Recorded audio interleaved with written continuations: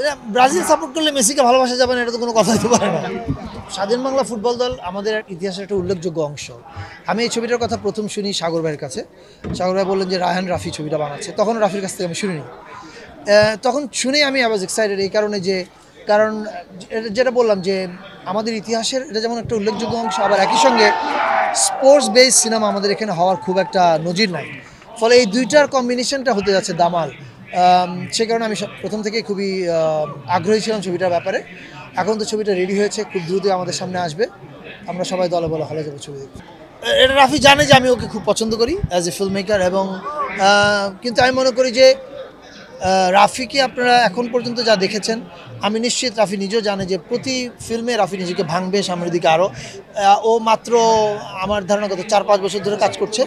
ফলে চার পাঁচ বছরে আমরা ওকে মূল্যায়ন করতে চাই না। ওকে মূল্যায়ন করব আমরা আরও বিশ বছর পরে। এবং রাফি আমি চাই উত্তরোত্তর শাইন করতে থাকুক এবং নতুন নতুন ধরনের সিনেমা করতে থাকুক। এই তরুণ কিছু নির্মাতা আমাদের এখানে চলে আসছে যারা ভালো ভালো মেকিং দিচ্ছেন আমাদের উপহার। এই তরুণদের বিষয়ে আপনার আমি যেটা বললাম দেখেন শুধু রায়হান রাফি না, রায়হান রাফি এবং আরও অনেক ইয়াং ফিল্ম মেকার আসছে যারা দারুণ সব সিনেমা বানাচ্ছে।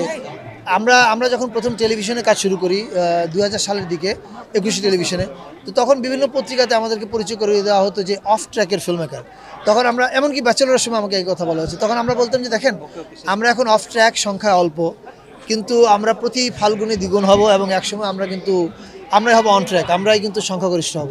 আপনি আজকে বাংলাদেশের সিনেমার দিকে তাকিয়ে দেখেন যারাই ছবি বানাচ্ছে সবাই কিন্তু মানে আমরা একই দলের মনে করি আমরা। আহ, Raihan Rafi is also one of them এবং এটাই আমি মনে করি আমাদের সিনেমা যে ঠিকঠাক পরিবর্তনের দিকে আগাচ্ছে তার একটা প্রমাণ আমার বামে বসে আছে রাফি। আপনি কথা আপনি উঁচু গলায় কথা বলতেন যে এফবিসি আমাদের নতুন ডিরেক্টরদের অতটা ই করা হয় না মানে Yeah. মূল্যায়ন করা হয়। না আবার সিনেমার নায়ক নাটকের ডিরেক্টর বলে একটা কেন হয়তো? এটা কি এখন কি হয়েছে? না এখন তো সেটা নাই। এখন আপনি তাকিয়ে দেখেন না যারাই ফিল্ম করছে।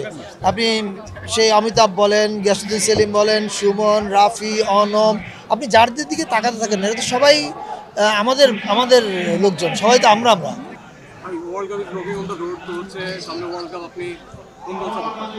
আমি Brazil. Messi yeah. Brazil support করলে মেসিকে ভালোবাসা যাবে না এটা তো কোনো কথা হতে পারে না। আমি ব্রাজিল সাপোর্ট করি মেসিকেও সাপোর্ট করি। মানে একটা কারণ হচ্ছে রাফি যেন খুশি হয়।